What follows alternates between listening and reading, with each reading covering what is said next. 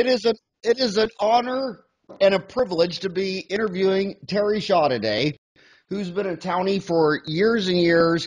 And Terry, what I what I uh, love about your post is um, you you talk so much about just down and dirty day to day composites. I mean, dentistry for the the real man. I mean, you're um, you know a lot of people want to do um, you know, they want to talk about veneers or they want to talk about CAD CAM or lasers or all this fancy dancy stuff. But, but as a real dentist in Phoenix and you're a real dentist in Canada, for every time you do a veneer case, you're probably going to do what? 500 direct composites? Right. Easily.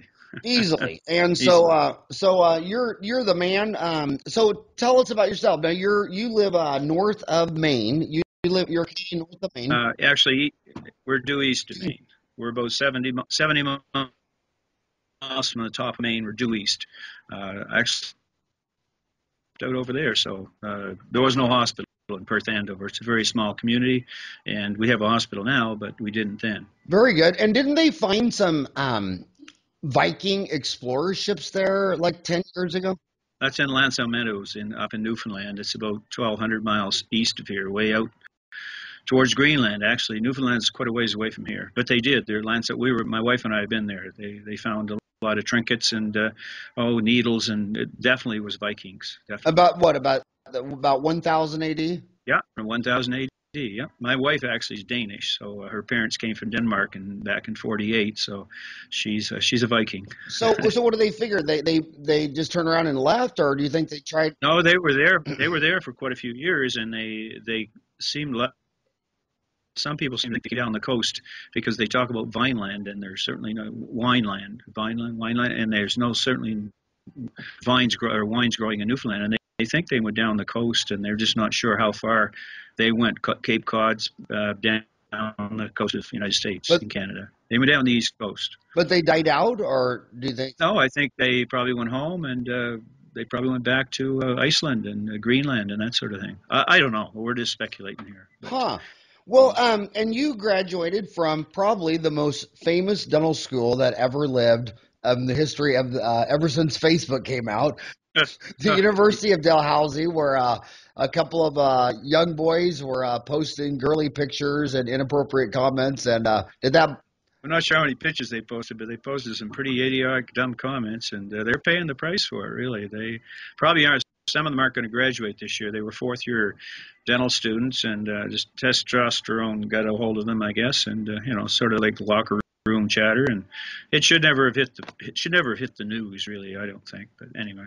Yeah, I uh, I've raised four boys. Uh, they're currently uh, 19, 21, 23, and 25. So I, I've dealt with a lot of boy issues, and uh, um, I talked to many dental school deans. You know what dental school deans actually tell me?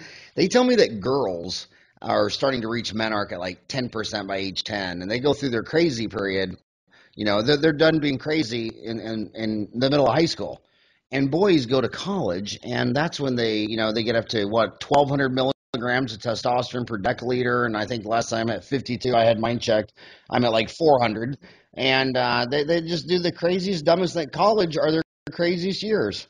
And well, uh, I think your age matches their IQ at that point. Yeah, no, well put. I've, uh, I, uh, my, my boys. It's funny. They'd always ask me what time they'd have to be home, and I'd say, you know, because all their other friends had a curfew, like it was based on, you know, the, the where the sun was in position to the Earth or Moon, and I'd always say, well, I to know who you're out with.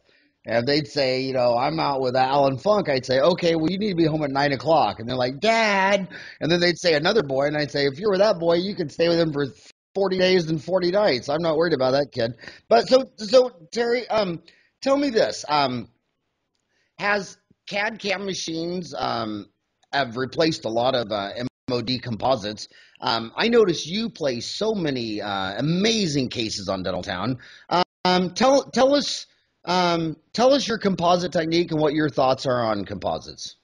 Well, a lot of the uh, the crazy stuff uh, I was amalgam up to about 83, 84, and ran into Ron Jordan in Moncton at a course, and uh, he was talking about posterior composites, and and that was way back when we put liquid acid etch all over teeth, and sort of wink, wink, don't let it touch the dentin. Uh, and uh, I started doing a lot of composites back in uh, oh, probably 84, 85, 86 along there, pretty well left the amalgam behind just because it tended to bond, bond the tooth together. And uh, uh, over the years in the in the 90s, I used to do uh, quite a few Maryland bridges. The, you know, you it always broke my heart to have to cut into the lingual of a, an upper tooth and uh, shave away some some good healthy tooth structure to make room for my metal. And also sometimes you know you didn't take quite enough off, and a lot of the failures probably were due to maybe inadequate uh, enamel removal. You got thin metal, it flexes and pops off. And probably in 91, 92, 93, I started doing them with composite. And uh, lo and behold, they worked. And uh, I probably have done six, seven hundred of things by now. And I just do them routinely in composite. I don't have to touch a tooth. There's no enamel taken away and the damn things work. Uh, I got some that are 5, 10, 20 years old, never been touched. I mean, some of them do crack. I just run a big diamond through and rough it up, sandblast it, uh, micro etch it, and re rebond it. And the solder joints, I think, the reason the composite bridges work so well, uh, they're very huge, very large. Uh, remember the old Vectris came out there. Targis came out and it was breaking. It was supposed to be the new great ceramic, you know, bridge material, and it just didn't have big enough solder joints. And uh, I think that's the reason that composite bridges do so well. And and uh, also at the same time, I started building teeth out of composite. Basically, I'd take old crappy crowns off and do them in composite. And uh, a lot of these people didn't have a ton of money. A lot of it was driven economically driven. And lo and behold, again, these these silly crop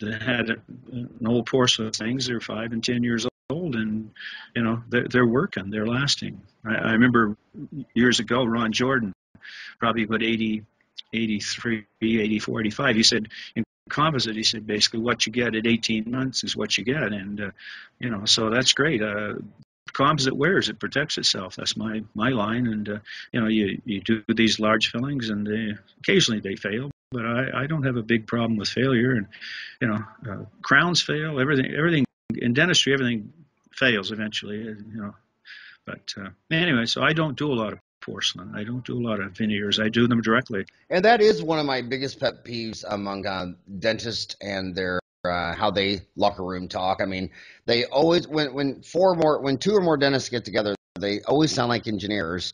When dentistry isn't about civil engineering, mechanical engineering, um, it's really a biology issue. I mean, we it's it's the uh, it's the one trillion um, bacteria in our three pounds of gut microbiome, and we see that you know people with gum disease don't have decay rates, low decay rates. People with high decay rates don't have gum disease. Sometimes they get on medications or, or catch uh, viruses and get yeast infections, and at the end of the day, they're all they're all going to fail from biology. But hey, I want you um I want you to what there, there's kids in there. You know, we have uh, we have a uh, lot of lot of lot of uh, dental students are big fans of this um, this podcast series. Uh, these are downloaded around the world. Um, walk um, walk the listener through your composite technique and, and try to be specific. My my brand is that with uh, the internet, no dentist should have, ever have to practice solo again. So give them name, brand, specifics, everything they need to know to know what Terry is actually what what you're using okay. what you're doing and why. Okay, well, I use a rubber dam 99% of the time, and I have 39 years, and I think that's a big part. Uh, as Ed alludes to a lot on Dental Town, uh, it's it's a big reason for the success of composite dentistry is rubber dam, good isolation. You're always going to have uh, fluid seeping out of the, you know, the crevice around the tooth, and if you don't have it sealed off and isolated, you might as well forget about it. I see a lot of poor composite dentistry in my in my world. Uh, anyway, what I do, I'm using, I believe it's uh, uh, Bisco's etch. I'm not even sure. A lot of the stuff like that, I don't. It's a gel, and I always put it around the enamel first, and I flood the uh, flood the dentin with it. I try to etch enamel for 20 seconds, and the the dentin probably 10, 15, uh, and I rinse it profusely for a few seconds and, and, and, I dry it either with my suction or my air, air syringe. I, I watch it till I evaporate most of the, uh, the liquid. And there's a, just a sheen, a sheen to it, a little bit of uh, moisture. And I'm still using All-Bond 2. Uh, I started in 91. John Kanca was in Moncton with Ron Jordan about 89 or 87, stuff like that, and talking about uh, dentin bonding and all this stuff. And uh, so I've been still using an old, old, old technique because the damn stuff works. I understand it. I mix my primers, A, a and B primer together, and I use a, a 3M cotton, uh, 3M foam pledget, and uh, they're just foam applicators, and uh, the two drops go in a in a, in a mixing well, and the uh, foam applicator will pick up about two thirds of that the first time, and I dab that on usually five times onto the dent. I don't try to put a lot on the enamel, although a lot of times it's impossible to avoid the enamel, but it doesn't do anything for the enamel. And I put five coats, and I go back to my well and get another fill up the, the sponge again, and I put on five more coats. And it, it takes uh, probably takes a minute for me to do my priming technique or step, but you you remember what it was like before we could you know, etch before we could bond to Dentin, and uh, etching enamel has been rock solid forever, and to be able to get you know that extra bonding strength with your dentin, I think it's worth a minute of my time, and uh, to, to you know really well you know if I do say two MODs on a person, it takes me a better part of an hour, uh, once a minute, 60 seconds to get a good get get a good primed hybrid surface, and the other benefit, a lot of benefits to a hybrid surface, a good prime surface, well, you, you, you, I never use a liner. I don't use any Dycal or I don't, don't use any, any bases under my composite. And that's what Don, John Kanca taught me 25 years ago. Uh, I just put the resin on and, and light cure it. And a lot of times in the interior and sometimes in some, sometimes I, I cure the, the resin and the composite together. Uh, sort of just depends. Uh, but I, I usually will uh, will cure my resin, and I put my composite in. I'm using a, a microhybrid. Uh, I haven't gone to the nanofills because they're not as strong. Uh, basically, from what I've read, they're not as strong. They're 30% uh, weaker than the uh, the microhybrids. That's a Z250 I, I tend to use most of the time. Uh, it's also cheaper because it's not in vogue like the, the, the you know your Ultra, your your Filtek Supreme Ultra. They're, they're considerably more expensive, and they polish better, but they don't the the the the, the, the nanofillers polish better. Uh, that, that's the biggest advantage. But in the posterior, I don't think that's a you know in the anterior maybe more so, but the posterior, the polish is you know the, the Z250 is fine in, in the posterior. It loses its shine uh, in the anterior uh, over probably over six months. I'm not sure why. I've got a few patients that um, are able to maintain the, the Z250 just like they just almost as well as Renamel. And I use Renamel in all my well, most of my highly aesthetic cases. I want I want enamel looking uh, fillings. I use in, use Renamel. Are you talking about uh, Buddy Mopper's uh, Cosmedent in Chicago? Okay. Yeah, Cosmedent. Cosmedent. Yep, Cosmedents. Yeah yeah. Uh, and that's that's at two feet you can't tell if if it's enamel or porcelain in my book, uh, you know, in my mind. And so it's certainly a lot cheaper to, to and, and the composites bond together really well. The Z250 and the enamel are very compatible. I've been bonding them together for 20 years now and haven't had any any big problems. So, anyway, that's that's sort of a in a nutshell. And I do most of my finishing with a 74 weight uh, foot ball shaped uh, carbide and it's got 30 flutes and when I'm done it's polished. The 30 fluted burr gives it a real nice uh, polish and you, you really don't need to touch the tooth after that.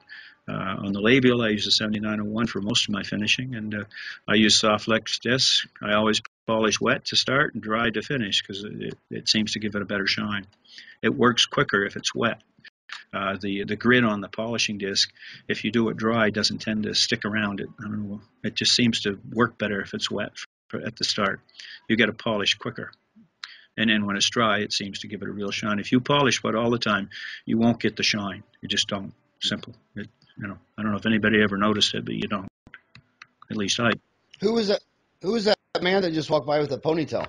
I didn't notice. That's my associate. I didn't see him, but anyway. Oh, that that's a dentist. That's another dentist in the office. Did, did, did, you have him walk through with the ponytail just to make me feel even more bad and jealous? Were you were you trying to ruin my day? He, he takes some extra Rogaine to keep that hair. That's his life isn't worth living. I don't think. That, anyway, no, I didn't. Okay, I want to I want to go back to a, a, few points of what you're saying. Okay, you when I asked you your composite technique, the first thing you said was uh, use a rubber dam. Yeah. Would you go as far to say that if you're not using a rubber dam or you can't use a rubber dam or and and, and let's let's be frank Terry. I, a lot of dentistry in many, many countries, they they don't have the suction, they don't have the air water syringe, you know. But would you say if you can't use a rubber dam that you should use amalgam? Uh, I, I wouldn't really, uh, you know, I would say you probably should consider, I don't know, getting another occupation. Rubber dam is. Just, why, why, are, why are you against them? So I, I'm sensing that you're against no, amalgam. I'm not against them. I love amalgam. No, no, no, no, no. Uh, it's not. That's not the. I'm just saying if you don't. If you don't use rubber dam, I don't know. I just, I just don't think you can do the same quality dentistry day in and day out. You just can't do it. I don't give a, a crap who you are. You can use an Isolite or whatever. Uh, I just it's really hard to do good dentistry without good isolation. Period. There's just. Do you ever use the Isolite? I've never seen one. I've never seen. Oh, on Dental Town and in the dental, and dental products, I don't have one. No. Okay. Well, um, let, us go back to that. Um, um, I, I also think you said something interesting. You do two MODs an hour. Oh well. And I, I think um, well, no, that you can't that you would schedule an hour for two MODs. Probably, yes. If, and, and you're providing an outstanding service. I mean, some of those composites that you post on Dental Town, I just look at that and go, "Damn, is this guy an artist or a dentist?" And and if you can do two of those an hour, I, I'm just saying something here where you talk about low cost. Well, a lot of people can't afford crowns and gold inlays. Like like I only have seven restorations in my mouth, and every one of them's a gold inlay only. But I'm I have money for that type of work. But but a lot of people who are doing the more expensive uh, like say a CAD cam, uh, might be uh, spending three hours on that. So if yeah. you look at the fee of that and divide that by three hours, is is each hour basically two MOD composites? Um, you know, it's uh, there, there's a lot of money to be made in placing yeah. direct composites on people with less money. That's what I'm trying to say. You don't have to. Well, yeah, I, I agree. I, and and I uh, always want to remind Dennis, there's a hell of a lot more money um, in McDonald's than there is in Ruth's Chris Steakhouse. But but, but I want but I want to go back to uh, I am sensing some vibes about amalgam. And you seem to be hesitant. No, no, no, no. I I loved amalgam. I just don't use it. Why did you quit? Because you can't bond the stuff for, for shit. It doesn't bond. It, uh, my composite reinforced the tooth. Well, a lot of people poo-hoo that, but uh, it, the reality is that I get I don't get the same amount of fractures and cusp fractures and stuff that you tend to see with amalgam. When people come in okay, here. Okay, so what year did you get out of dental school? 76. And you said you did um, amalgam till 84? Seven, yeah, 84. And I, I loved it. I carved nice marginal ridges and polished it, and, and it was it was. I, so you so you did amalgam for eight years, and then uh, 84 to 2015. Um, how many years is that? Uh, um, 30. 30 years. So in the eight years of placing amalgams, you feel that you, through your own eyes and your own patient population, eight years of amalgams, that the following eight to 10 years, you saw more failures with that than the preceding first eight years of doing composites from, like, say, 84 to 92? Yeah, and uh, uh, I, let me just qualify that a little bit. When I first started doing composite, composites, probably in 83, 84, I did it for probably a year, and then I went back to a course again, and they said, you know, they whoever gave that course was wasn't quite as keen as the previous instructor and stuff, and and they said, you know, you should look at these long and hard. And at the time, I was using heliomolar. That's my first composite, which is a microfill, uh, which wears well. It, it, is a really nice material. And I've got, I still have a heliomolar restorations running around. And so I looked at them really hard for the next six months because I, and I did a few amalgams. And I, I kept seeing them, and I said, "Shit, these things aren't wearing. They're looking good. What am I going back to amalgam for? Amalgam, if it bonded, I would use it, but the bond strength is like 10% of the acid etching values you get. The bond strength on amalgam to enamel is, is, is basically zilch. Uh, you know, they, they claim you can bond it, but the bond strength in, comparison to a bonding to enamel is about 10% of the same, you know. So it's, I just, you know, anyway, and nobody wants mercury in their mouths. I mean, we all know, you and I, you and I know that if you went to the FDA today with this new wonderful tooth material had a mercury in it, they'd laugh you out of the building. You wouldn't even get a chance to present your evidence. You know, I mean, I'm not, I don't replace every amalgam I see. I had a guy new yesterday one these amalgams out. I said, you got a couple I'm willing to do, a couple bicuspids that are showing some wear. The rest of them are fine. I said, they, they probably will go to your graves. They were actually very nice amalgams in these molars. but he had a couple of ratty ones in the front. I said, I have no problem to change those. But I don't change all the amalgams, and uh, you know, uh, I've got amalgams in my mouth. Now, what city do you live on? Is it in the coast? On the? Are you on the coast? No, we're on on the St. John River. It's Perth Andover. Perth Andover. It's a hyphenated word, two words. Is that a fishing village? Uh, used to be good salmon fishing here until they built the dams on the St. John River, and then the it's a, we're at a farming area, potato farming and lumber. We, we live in the woods, basically the forest. A lot of uh, a lot of lumber companies here, Irvings and Frasers, and a lot of lot of farmers here. A lot of you know McCain's McCain's Foods is the big employer here. They're they're 25 miles above us and 25 miles below us. I have I have, I have mixed feelings about dams because yesterday the uh, United States uh, came out with a report that said the average dam in America was 50 52 years old. And I thought, well, that's good. I'm 52 years old. And then they said, that is so damn old. They're all falling apart. And, and like twin that, I'm like, wait a minute, that 50 is not old. So those damn dams. So I want to go back to um, when you said some people keep them more polished and you use Renamel on the anteriors. And I, I have to admit, I, I, have very different standards in my office uh, for women anterior, actually women, I just high, very high aesthetic needs. Um, uh, someone comes in looking like, like me, we just uh, we either just take him to the vet and put him down, or use amalgam or gold. But do you think the toothpaste they're using? I mean, you know, remember Bob Ibsen, the founder of DenMat, who then went on to create Rembrandt. He had that um, Rembrandt toothpaste. Do you think that girls that are coming in with lustrous looking composites three, four, five years later, kind of out of the norm, do you think that's associated with these high high polishing toothpaste like Rembrandt? What what it is is is the micro hybrid is not a, it doesn't usually loses its glass like the micro hybrid is uh, uh, what was the one there the uh, I used to use it because I got in a bit of an argument one time with Ross Nash at a course in Bermuda and and I said this stuff it was a micro hybrid uh, oh Kerr makes it what's the name of it it's still in use today it's still a They've got a nano Z two Z two fifty or no? That's that's made by the 3M.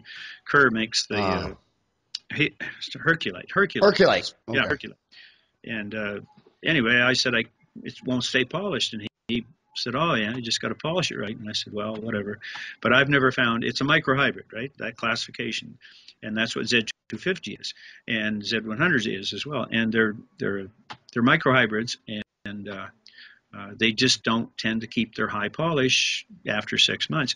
But the guys, there's actually there's two gentlemen that, that have managed. They, I veneered their teeth and basically built their did a rehab on them, and both of them keep that damn stuff just as shiny as almost like it almost looks like a microfill. And I've asked them, and I, I'm not sure why, but they don't seem to know either. So. And I, I also want to say when when you say you're you still using All-Bond, uh, which uh, Bisco, that's Bisco, um, which was um, right Bisco, yeah. Byoung Suh. Uh, and he, now he's got what three kids and a cousin running that in uh in uh outside of Chicago. Uh, what what generation was that? Was that third generation? That's, That's fourth. fourth. That's fourth generation. And I and what are we on now? What generation are we on now? Seventh, eighth, ninth. Yeah, and and and also I have to agree with you. I mean, the first composite I ever used was Heliomolar, and that was in nine. And I graduated dental school in '87, so the first time I ever used it was probably like 85, 86, and I still love it the most. And don't you think that some of these old and tried and true Ivoclar's Heliomolar or a fourth generation Bisco A and B, um, do, don't you think a lot of these new generations are almost uh, came out of the marketing department and, and, and it seems like it seems like a lot of dentists just the only resourcefulness they have is how to drive up overhead. It's like, you know, if they ever get any idea, it's how to raise their overhead. They they never can keep it simple, stupid, use the old stuff that's been around for 10, 20, 30 years. And I know they're looking at us too and thinking, yeah, those guys are old coggers and they should have their license or retired. And uh, we probably look like a Tyrannosaurus Rex interviewing a Stegosaurus Rex. But uh, but but the bottom line is, it, it's the low. You said it first. You, it's the lowest cost stuff. It's the it's the new stuff is bloody expensive and could be bleeding edge. And and, and some of the stuff I don't understand is like, okay, you have to mix A and B. So like, well, we got to we got to get rid of that. I mean, really, really, you can't mix A and B. Really, really, you'll you'll, you'll try something bleeding edge for twice the money because you can't mix a drop of A and B. I mean, what at what point do you just throw in the towel? I don't know how some of these guys get their dental degrees if they can't mix A and B together and, and dab it on a tooth for a few seconds, for 30 seconds, Jeff Brucia, I've heard him a couple times, and he's excellent on bonding, dentin bonding. Out of San his Francisco. Yeah, yeah, and his his comparison is is with with hair conditioners. You know, you get shampoo, you shampoo your hair, and then you put the conditioner on. He said, well, you can buy these shampoo hair conditioners, but nobody likes them because they don't work as well. And it's the same with these single bond systems. The the, the bond strengths just aren't there, and and you know you got to they're. I'm always suspect when I see these results in the in the different magazines because you know the, that you, you you don't see too many comparisons. I mean, Kanca rails about this with his materials. He's got good materials, and you don't see too many comparisons right across the board where they start with the fourth generation, use two or three of those, fifth generation, six, and do do the same test, do the shear strength test and all. All you do is you you read in the the, the publicity in dental products. Uh, 3M needs a new, you know, they got to keep their dental industry going, so they make a new product. 3M does make good products, most of them do, but they're they're selling these new single bond systems, and they're convincing you it's cheaper or easier or some damn thing. It certainly isn't cheaper, but you know, I, I, if they don't work as well as the old stuff, why would you change? I've been burned. I've been in this dental business too long, and I bought I got drawerfuls of stuff in there I give away because I it was the latest and greatest. I'm getting better at it, but the latest and greatest isn't always the best. Simple as that. Well, first, first in the interview, you have a, a handsome dentist with a ponytail walk by, and then you follow that up with an example of a shampoo and hair conditioner. So you're just uh, you're just really trying to throw me under a bus this morning, aren't you, Terry? And uh, so basically, I want I want to go to a um, another question about the. Uh, I want to I want to go to um, another question. Well, first of all, that old stuff you have in your uh, room, I'm telling you, um, the classified ads on Dental Town. A lot of people don't realize uh, those are all free, and I can give you the names of 50 dental assistants where the dentist said, "You go sell all that old crap, all those every toy junk thing I've ever bought, and I'll split the money with you." And there's dental assistants who made five, ten grand in a week, uh, got rid of some of these big fifty thousand liters. And the only thing I will throw uh, mix the fourth generation under a bus is is uh, I don't know if it's me or the assistant, but uh, you know they say one drop of A and one drop of B. Well, how come when the A bottle's empty, the B bottle's still half full? I never I never quite I never quite figured that out. Maybe that's why they're trying to go to one step. Um, but uh, so are you um, are you have you tried Kanca stuff? Do you do you use any of that? Are you friends with John Kanca in Middlebury, Connecticut? I no, I know John fairly well from years ago because I was the uh, CE chair of the Atlantic AGD, and he did probably five courses for us way back in the 80s and 90s, and and I used to see him in Bermuda with Ron Jordan and Peter Jordan's crew, their clinical research and stuff. So I I uh, I like John. John's a straight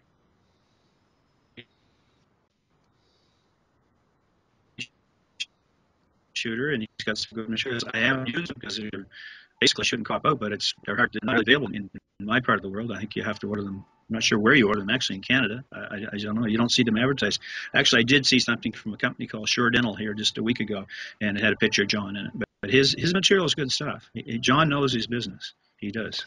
I want to uh, I want to expand Dental Town magazine to Canada uh, for uh, those viewers around the world. Uh, Canada demographically is another California. California is 10% of the United States. Uh, the United States is 330 million. California is basically 33 million, same as Canada. They have the same number of dentists, the same size economy. Uh, the only no, no, no, no, no, no. California's economy is way bigger than Canada's economy. It is, is. it? It yeah, is bigger. Yeah. Oh hell yes. Cal- okay. Cal- California's, you know, you know, California, the land of fruits and nuts, basically.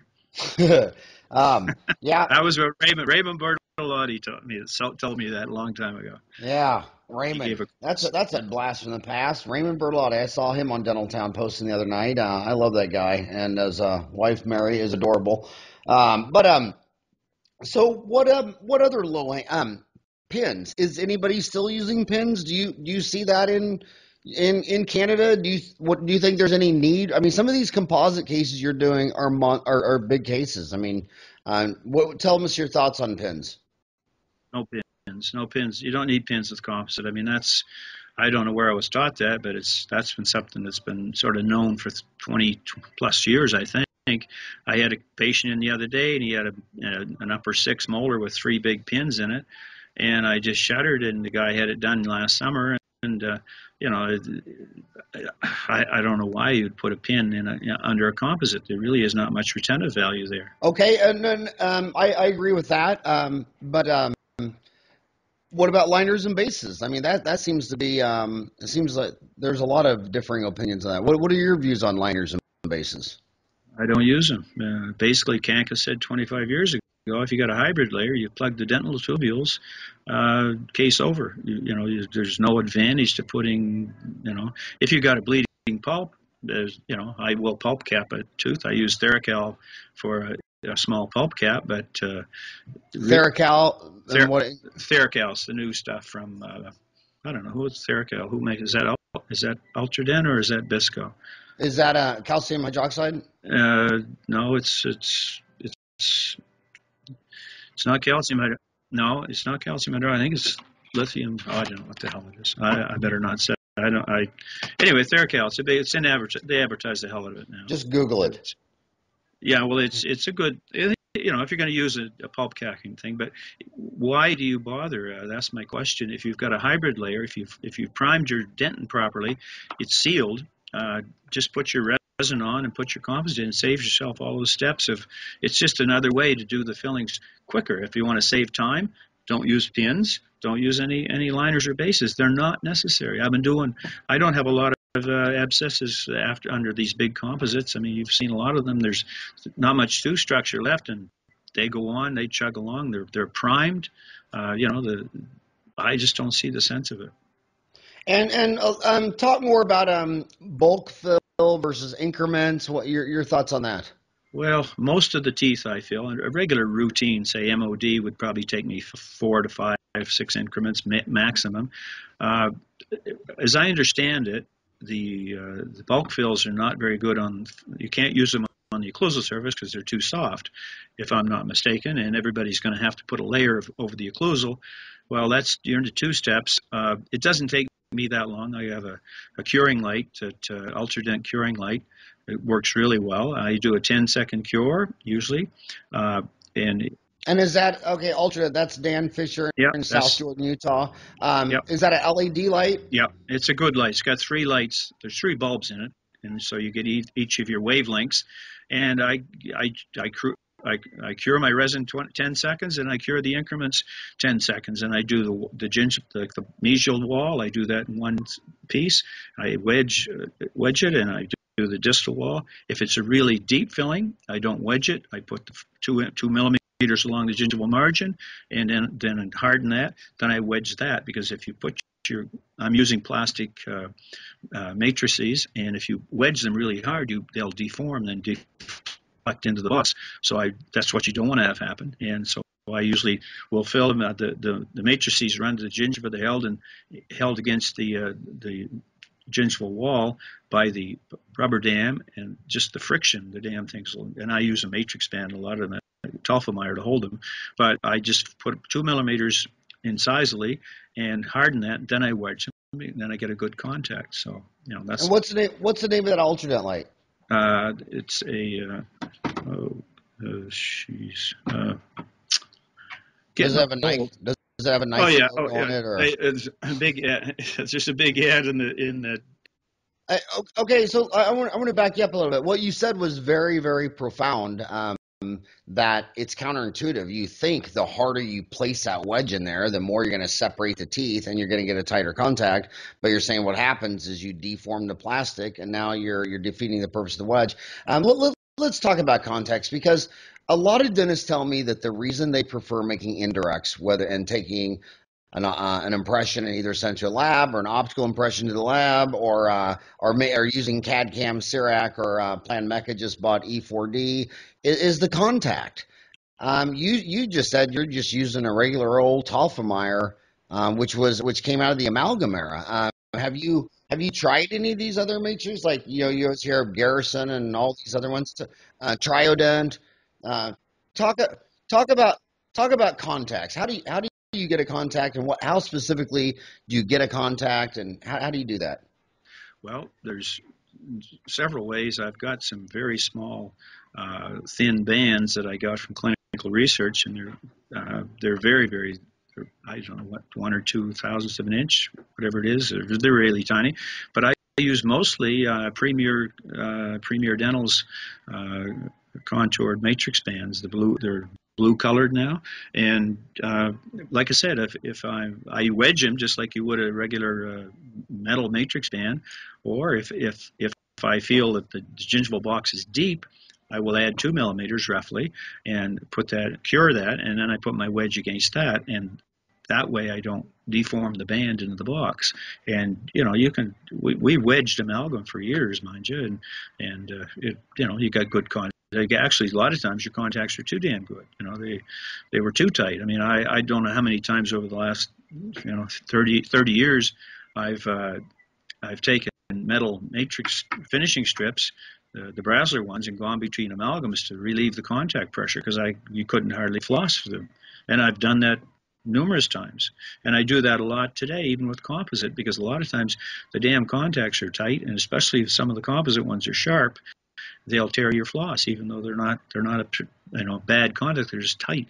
And uh, the occlusals sometimes when people do them, they don't they don't open it, an embrasure there on the occlusal surface. And one way I do that is at 7901, I'll drag it across back and forth at a 40, 45 degree angle, uh, lay it right down in the contact and just drag it back and forth and open up the contact, not the contact, open up the embrasure on the occlusal sort of thing, so you can get so you can get the floss started, so it's not two sharp angles, you know, on the occlusal.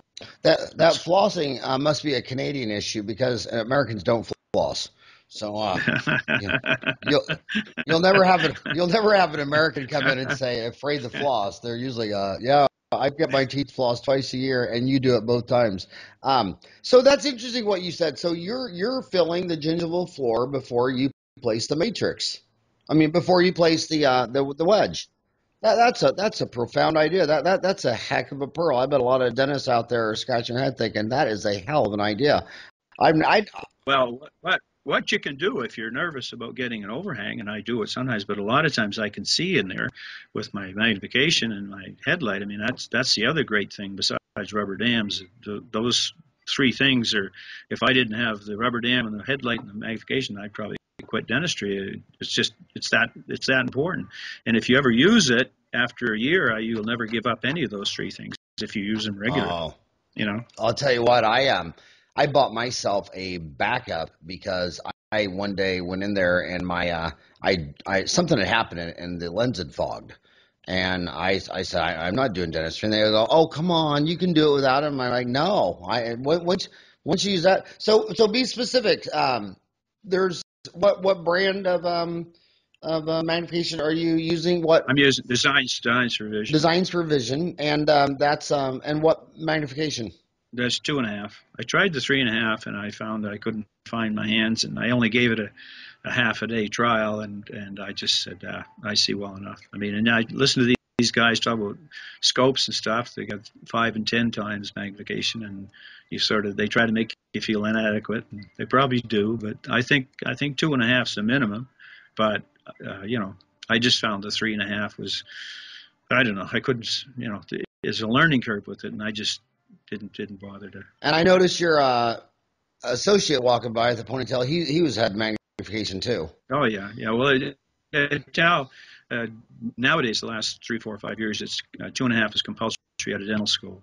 It's it's it's required. And and I want to say something that you know every time I hear a dentist complain like, you know, what do you do when your hygienist has been with you for like eight years and you go in there and you do a hygiene exam and you know they left a big old chunk of tartar on there and I'm like, uh, well, you're wearing loupes. How come your hygienist isn't? So I, I buy them for um, all my hygienists, all my assistants. Um, but you're right. Everybody stays at two and a half, but me. I um I did the uh, three point eight, or is it three point five or three point eight? Uh, next up from, from Designs. Well, Designs for Vision was three three point five. I, I had some so. Yeah, that that's what I, I went up to that. I I mean I'm in love with that. Um, but but yeah, magnification. You, you can't expect your dental assistant and your hygienist to be in the same league as you if you can well, see. I, I have two hygienists, and I the younger one took to the took the magnification like a duck to water, and she loves it. And her work is better now for sure. I mean, because she sees everything, she sees so much better. And the other girl's older; she doesn't want to do it, but I I wish she would because if you do if you use it for a month, you'll you won't you'll never go back. hmm You know, you'll never go back. Yeah. And and and, and I told her I'd I'd pay half of it, but I, actually after six months. I said, "You're good." I said, "As long as you stay here for at least a year, I'll, you know." And after a year, I paid. I, I had paid the whole thing, and I told her if she stayed less than a year, I'd, she'd have to pay half of it. But she's been here five, six years now, so or since. So, um, so I noticed that you're a hockey fan, and hockey does not promote oral health. They all all hockey does is knock is knock teeth out. So, uh, Hey. and I, and I'm I'm evidence of that. I got three front teeth rattled when I was a kid, or when I was 20. Hockey stick in the mouth, and three crowns, three posts, and cores and stuff. Yeah, long time ago. Uh, it's it's good for business, but you actually we don't see hardly any hockey injuries anymore. Uh, my wife did smuck my son in the mouth playing hockey in the basement, playing street hockey in the basement, and I had to do a root canal in his front tooth, and he was nine years old. So, but you don't we don't see hardly any hockey injuries in the dental office now. But I know. noticed I, I I have heard that in Canada, um, everything beneath the pros, it's a face mask is mandatory. Oh yeah, not there's shields, they're face shields. Yeah, They're- but they're- but the pros the whole- the whole thing. use them. No, well, the pros are, you know, they, it's an image thing, but most of them do wear the uh, shields now for their eyes. I- That's the only reason I'd wear a shield is for your eyes. To hell with your teeth. I mean, you can get your teeth fixed, but your eyes you can't. But the pro, but but I, I don't ever see hardly pro hockey players Oh. wearing shields. Uh, they wear eye shields. A lot of them do. Yeah, you just, I eye shields. yep. You see the helmet, and you don't probably see the shield because it only comes down to their nose. But it, you, a lot of them wear them. A lot of them do. Huh. And your uh your greatest citizen uh left uh now lives up the street from me. The Wayne Gretzky. Right? well, he was at one time, probably Yeah. for sure. Uh, Did you do his teeth? no, I didn't do his teeth, but uh that Somebody, somebody did. yeah, he's He didn't have that teeth. Those teeth when he left Canada. I know that. Oh, that's uh, that's so funny when they built that uh, team down here, the Phoenix Coyotes, and uh, man, during a game they will pan to the bench, and everybody I guess takes their partial out for the game because uh, they'll pan that whole bench, and I think I think all the players combined only have 30, 40 teeth. They're all missing uh, uh, front teeth in large numbers. So uh, so I, I'm gonna I'm gonna take uh I- I'm 40 minutes. I'm two thirds down and 40 minutes down. I only got 20 minutes less. I want to switch gears. I, I don't want to frame you as someone who just does composites. Um, I'm you, you've been doing dentistry for three decades. Um, you know, Almost, almost four. almost four decades. So, so I, I want to ask you a couple of questions. Uh, you got 5,000 American children coming out of schools each year. Uh, they're, they're carrying on average uh, 250 to 300,000 dollars in student loans. Um, if if your own child that your wife was uh, uh, abusing in the basement with a hockey stick, knocking his front teeth out, where you, uh, um, if, if your own child was walking out of dental school right now in the United States or Canada and was packing 250 to 300 thousand dollars of debt, uh, what fatherly advice would you give that that young child?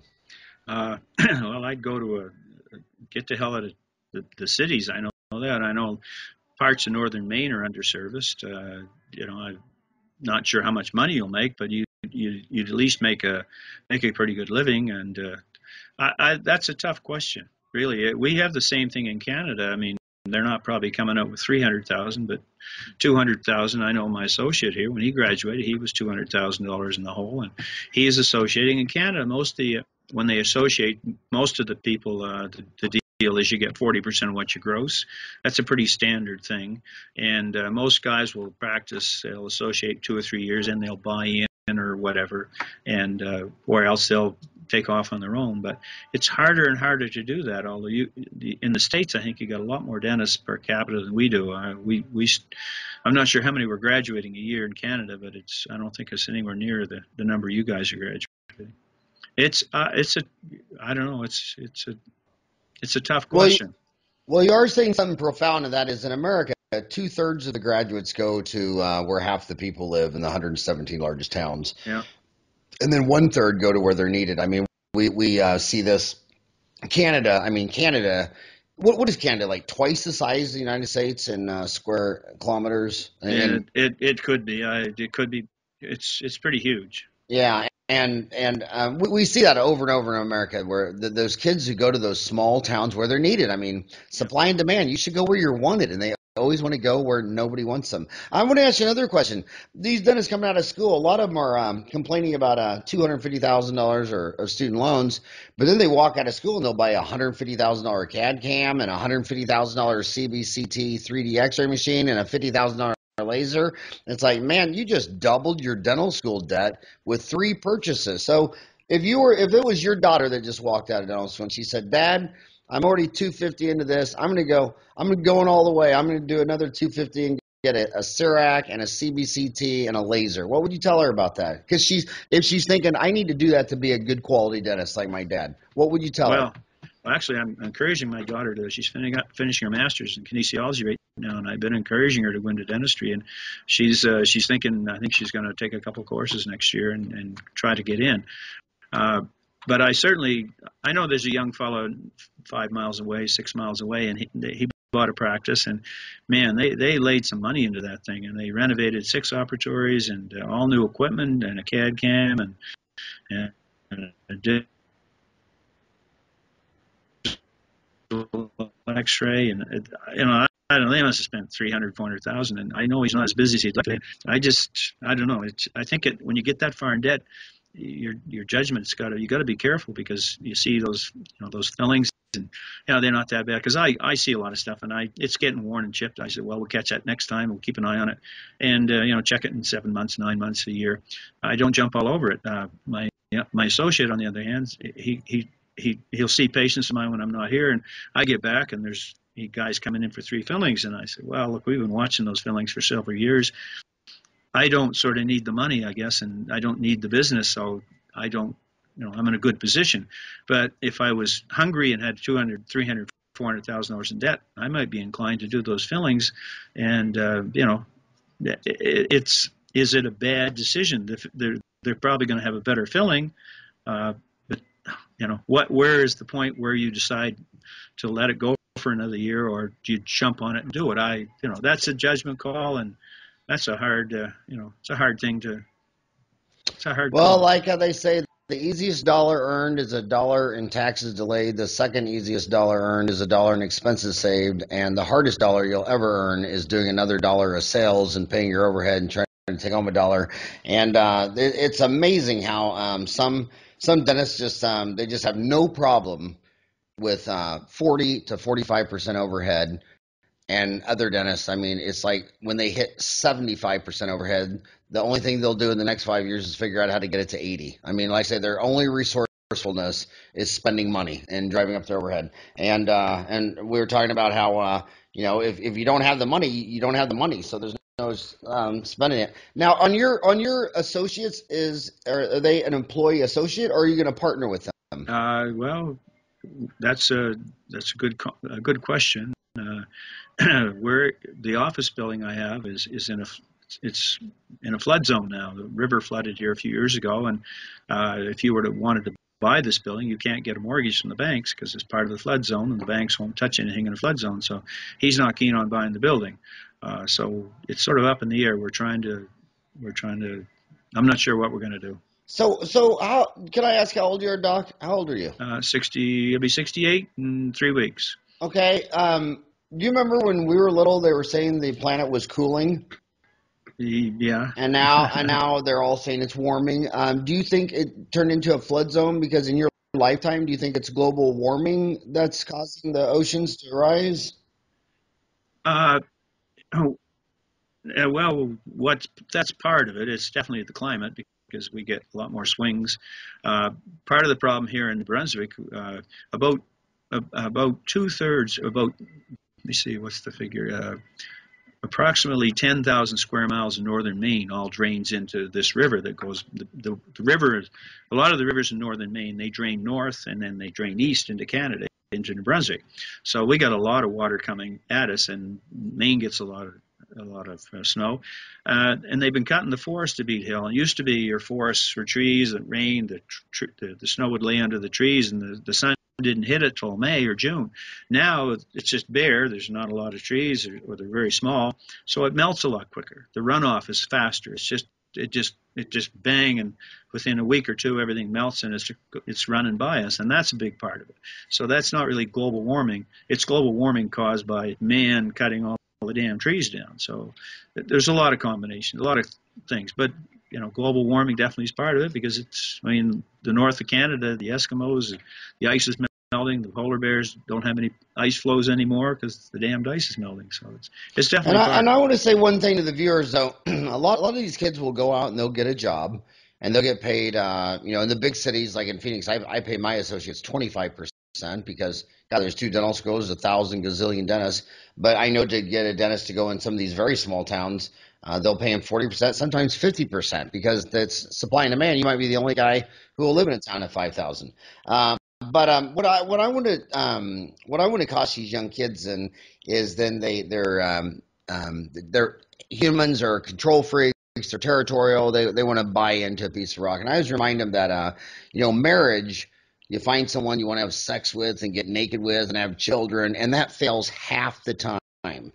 And now you're going to marry an old dentist who you don't get naked with, have sex with, you don't have children, you don't celebrate holidays, and it's just, gosh, it's almost usually a really bad idea. And I, I would I would tell a young kid if, if you're working in an office and you're getting forty percent, that that means that means that I mean half the dentist the average overhead in America is 65%. So if you locked in at 40%, you already have 5% less overhead than the average dentist in America. And you and, and you don't have any of the stress of ownership. You're not carrying debt. You're not paying interest on money. My God, why? I, and I still, how many marriages do you know where they dated for five years and it was just like beautiful? and then they get married, and the whole thing goes to crap. And two years later, they're divorced. And uh, I, I, I don't know. Uh, I think that happened. I, I think that happened to me. what, what, what part of that story? Well, I guess it was ten years. no, I was divorced. Oh, okay. And um, yeah, so uh, that's uh, true. When uh, um, the only women who uh, want my autograph, they want it on an alimony check. And uh, but uh, so so then also you're um, a member of the Academy of General Dentistry. Would if a young kid came up to you and said, "Hey, boss, uh, you know, DEWS AGD, is that a good thing? Do you recommend that? Did, how did that affect your career?" Yeah. Well, in my case, I, uh, the courses I was going to when I first heard Ron Jordan and John Kanca were put on by AGD, and, uh, and, probably 10 years after those courses, uh, one of the guys involved in the AGD pestered me a little bit, and I joined it probably 15 or well, close to 20 years ago now, and so I'm part of the uh, of the uh, of the academy, and we provide three courses a year, three one-day courses a year, usually in Moncton, New Brunswick, and we get anywhere from probably oh from 50 to 150 people at our courses, and uh, we get to, the nice is being part of the the executive, we get to pick the the guys that come to talk, the speakers, the CE speakers. So, you know, if there's somebody I want here or see, we we try to you know we try to get them. So uh, that's in, you know good for me. Uh, and I also go to a fair bit of CE. I enjoy CE. I enjoy I enjoy learning. It's nice to keep ahead of the curve a little bit, or or try. To. I, I want to I want to say to the young viewers what the AGD did for me, and that is, um, I think when young kids come out of school and they take uh, their own courses. Um, they, they just take a few little areas because that's where you're interested. And I remember when I signed up for the AGD, um, you know, I, I, wanted to get my FAGD, and then I saw that I had to take, I was like 16 classes and like 16, eight different areas or whatever. It was 500 hours over five years, take a test, but they, they spread out. And I got so mad because I, I called the guy that talked me into joining, and I said, uh, I don't want to take classes in these subjects. And he just said, Howard, he goes, you know, you, you need to cross train. And, and, and the greatest um, implantologist, Carl Misch, was because he was a removable prosthetics guy first and he'd see these people putting dentures on uh, four implants in a Hader bar and then be complaining that the implant was weak and snapped. And Carl said, "Well, hell, your bite was off so bad. That was the worst denture I'd ever seen." And and Carl was always saying to learn how to do fixed removable, you need to learn removable first. I look at the the TMJ people. I mean, they say things that if you just did one single orthodontic case in your entire lifetime, you would know is crazy. And uh, and they they've never done an ortho case. So I mean, you have to learn ortho to understand occlusion. I mean, everything's cross training. And what I liked about it, so I'll just succinctly say, um, how many times would you walk into a convention and take a uh, dental pharmaceutical course on uh, different antibiotics when you could have a super sexy implant course or bone grafting? But you're like, oh, I got to go take this this pharmacy course because I'm trying to get my FAGD, and then later my MAGD. And then when you'd get done with that course, you're like, God dang, I'm glad I took that course. And so I, I never would have taken half the courses. Um, in, in, in fact, the funniest thing was to do the implants, I literally was yelling at the guy saying, I'm not ever going to place implants.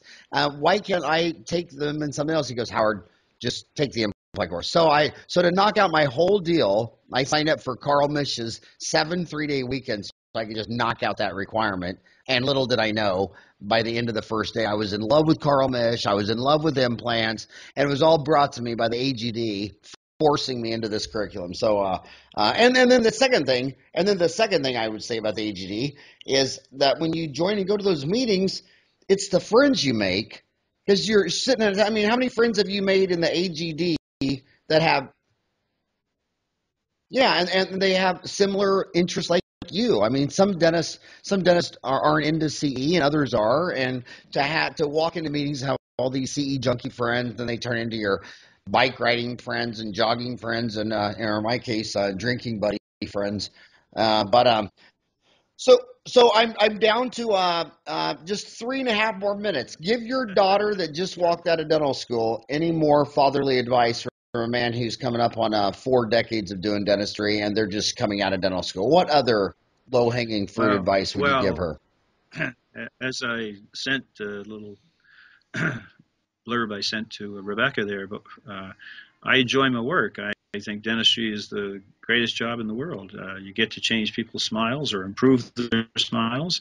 Uh, they come into you in pain and they walk out very thankful, and they pay me money to do this, which is I find very amazing. And uh, they pay us good money, and uh, I just I just think I'm very fortunate to be where I am in this point. And retirement, a lot of people, you know, they're at me about when I'm going to retire, and I'm probably going to work for a few more years, and uh, I might work for longer. I don't know. I'm not, as long as I'm healthy and I'm relatively healthy. Uh, uh, I just, you know, retirement is scares the hell out of me, and a lot of people too today. You'll see a lot of people over the age of 65 continuing to work, and some of them into their 70s. And uh, you know, I can't imagine that you'll retire when you're 65.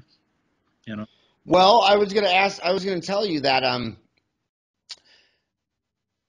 I, I think retirement's crazy. I mean, I know so many deaths. Uh, if for you know, ba- basically the the only safe investment you would have would be a government bond, which pays five percent, and you would need a million dollars for every fifty thousand dollars a year you're going to make. And I know I was talking to a good friend of mine uh, last night, uh, Kenny Anderson. Uh, uh, he just celebrated his his dental office fifty years, and and we were sitting here, and he's like, he still does Tuesdays and Thursdays from six to noon and still makes more money than you and I. You know, I mean, just still just crushing it. And it's like he still loves it. He gets out of the house. I, I think I think a lot of deal about the retirement is you know they they work crazy hours to the end, then they just cut it off and sell the practice. Well, then the government's going to take half your money. And why don't you just kind of slow down, enjoy life? If you you know quit working Fridays, uh, if you if you hate staying late, quit just I think the goal should be every year you work one hour less and make one dollar more. Um, and like what uh, Dennis, uh, one of my friends always says that he'd rather be uh, beaten with a belt than do a root canal. Well, then that's what endodontists are for. Just do what you like, gradually slow down and play because when you don't retire, uh, you're going to make so much money um, by staying in the game, and it, it's um, much more healthier and it's a better lifestyle. And uh, yep. well, um, well, I've, I've I've worked 32 hours a week, four days a week for the last 30 years. So, uh, you know, I'm done between fr- Thursday night at five o'clock and Monday morning at five five o'clock Monday morning. That's half of a week. So I work basically my four days in half of a week, and then I have a half a week off, and that that's good on your head, real good. Yeah, absolutely. Um, well, hey Terry, I just want to um, I want to thank you for your 1,200 posts on Dental Town. Uh, you're, you're a meat and potatoes guy. You're you're always showing great dentistry. Uh, so many people have, uh, you know, I'll, I'll say, uh, "Why do you like Dentaltown?" And they're always name dropping you know, watching your techniques and and and again, um, you know, everybody wants to talk about these sexy Star Wars CBCT and lasers and all that stuff, and and man, you're just keeping it real on daily family dentistry, direct composites, fourth generations, still in love with the old stuff, and man, I, I just wish all my viewers on uh, on Dentaltown or iTunes or YouTube would actually uh, log on and do a search for Terry Shaw and um, um, Terry, thank you so much for all that you do for dentistry and for Dentaltown. And tell your daughter that if she doesn't go to dental school, that's a hell of a lot easier to marry a dentist than to go to dental school. all right, Terry, thanks again for all you do, buddy. All right, bye bye.